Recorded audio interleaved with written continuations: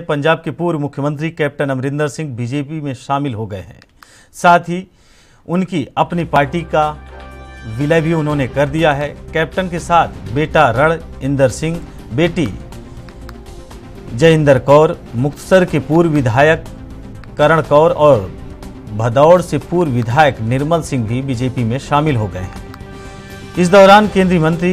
किरण रिजिजू और नरेंद्र सिंह तोमर उपस्थित रहे। वहीं बीजेपी में शामिल होने के बाद पंजाब के पूर्व मुख्यमंत्री कैप्टन अमरिंदर सिंह ने कहा कि मैं प्रधानमंत्री नरेंद्र मोदी और गृह मंत्री अमित शाह का आभार व्यक्त करता हूं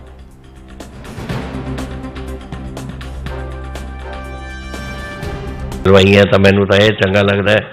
ਇਹਨਾਂ ਨੂੰ ਵੀ ਚੰਗਾ ਲੱਗਦਾ ਹੈ ਇਹਨਾਂ ਇਹ ਸਾਰੇ ਮਾਲਵੇ ਦੇ ਬੈਠੇ ਅਸੀਂ ਉਰੇ so this is I think a positive thing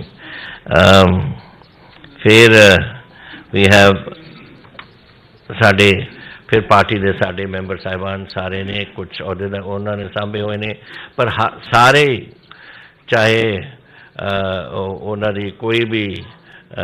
background ਰਹੀ, ਕੋਈ ਵੀ ਉਹ ਕਰਦੇ ਰਹੇ, ਆਪਣੀ ਪਾਰਟੀ ਵਾਸਤੇ ਕੰਟਰੀਬਿਊਸ਼ਨ ਕੀਤੀ ਹੈ ਔਰ ਸਾਰਿਆਂ ਨੇ ਆਪਣੇ ਦਿਲ ਖੋਲ ਕੇ ਅੱਜ ਬੀਜੇਪੀ ਦੇ ਵਿੱਚ ਸ਼ਾਮਲ ਹੋਣ ਦਾ ਫੈਸਲਾ ਕੀਤਾ ਹੈ।